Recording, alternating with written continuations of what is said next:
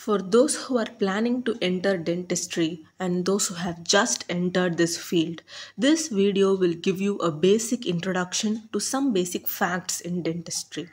In human dentition, there are 32 teeth in adults and 20 in kids, that is primary teeth, what we commonly call as milk teeth.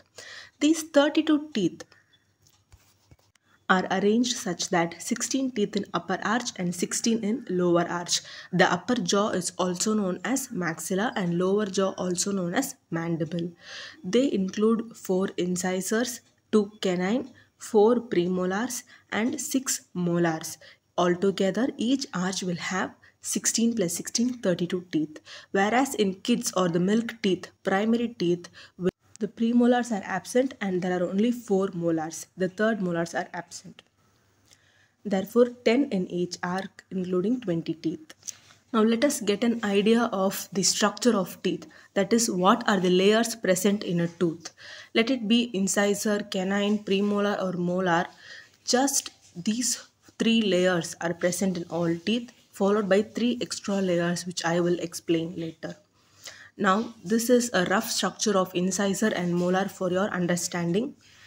Let us see the innermost core first. It is called the pulp. Pulp is the most vital structure because it has blood supply and also a nerve supply of the tooth. This part forms the pulp, the innermost core. Followed by we have calcified layer known as the dentin. This second layer from inside the dentin forms major part of the tooth and also present in crown and root. For your information, the upper part of the tooth is crown and the lower part of the tooth is root as present here, okay?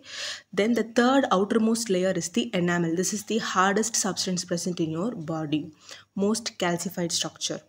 Then similar to enamel, the roots are covered with a thin layer of cementum. It is not as hard as enamel. These cementum covered tooth roots are seated in alveolar socket that is the bone present in each jaw.